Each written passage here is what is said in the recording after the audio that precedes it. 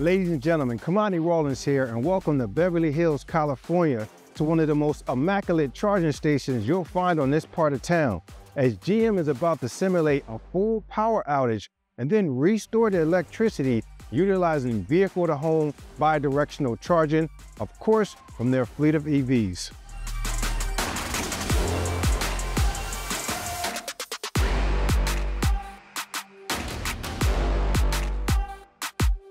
As EV technology continues to evolve and awareness is increased, GM Energy is working towards making sure consumers have a positive experience through the utilization of their products.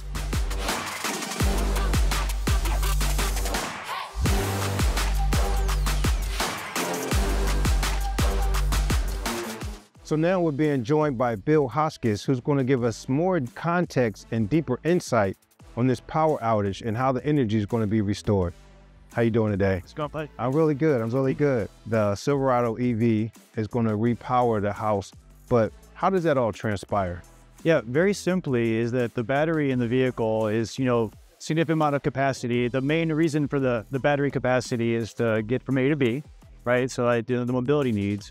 But when it's enabled with the right configuration, which is your PowerShift charger and your enable bundle, which includes your inverter, your your uh, hub, and then your dark start battery, the lights go off and the customer automatically within you know a very short period of time will see the lights come back on So let's say we're starting out with a full battery charge um, from the Silverado. The power outage is continuous. How long can it continue um, to light up, you know, the house? And is it the complete 10,000 square footage or is it a certain percentage of the house? yeah it'll be the critical loads that you decide that you need that you want most during your potential outage and it'll be um, you know up to uh, 21 days we've been quoted you know the average house in the us is about 30 kilowatt hour or so of the consumption a day um, our silverado has 200 kilowatt hours so if you do the rough math that could be up to six days of you know uninterrupted uh, power uh, package And lastly, uh, I know we're starting off with uh, Silverado EV.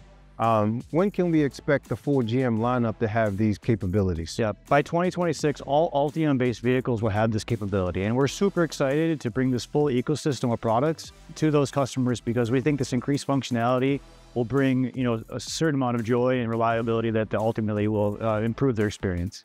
Well, congratulations. Thank I'm excited. We really appreciate it. All right. Thank I hope you're feeling electrified after witnessing our GM Energy simulation to showcase the future of energy management. Stay tuned for more news and auto reviews.